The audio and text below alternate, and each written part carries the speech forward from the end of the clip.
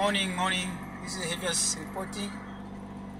Imagine this guy has got, uh, I don't know if it's a tire, tire, tire bust, and him is uh, moving with a, just a rim. Imagine. And look how he's destroying our road. And the government is spending more money on this road. But ish, guys, this is not inhuman. We are the same people who are crying for the roads. The roads are not okay. But look at this guy. This bastard. He's pushing the trail like this. Serious. Uh, if I'll find him, I'll report him to police. Serious. I'll report this to police. Because he can't damage the road like this. Honestly. That has caused the damage uh, of the road.